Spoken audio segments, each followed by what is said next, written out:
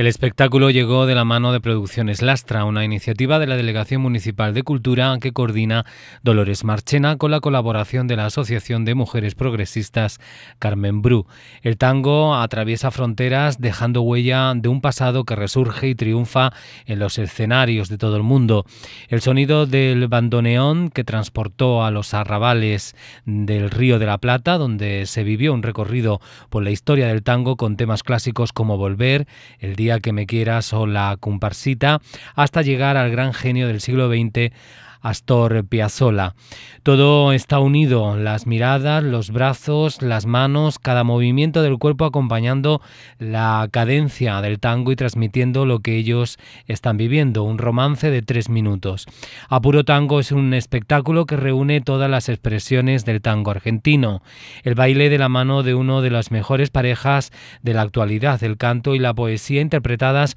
por una contrastada cantante y la música de la mano del conjunto típico Fernando Moreno, que intenta recuperar el sonido de los tríos clásicos de los años 30 y 40 que aportan una sonoridad tradicional del género instrumental que nos remite a las viejas grabaciones de Carlos Gardel. La pareja que integra el espectáculo son los maestros Gonzalo y Carolina, posiblemente una de las mejores que podamos encontrar, bailarines absolutamente consolidados y que han compartido escena con artistas de prestigio mundial. El resto del elenco lo integran bandoneón Orlando Di Velo, bajo y guitarra Oscar Guida, guitarra Hernán Hook, voz Patricia Nora, bailarines Gonzalo y Carolina, y en septiembre de 2009 el tango fue declarado Patrimonio Intangible de la Humanidad por la UNESCO.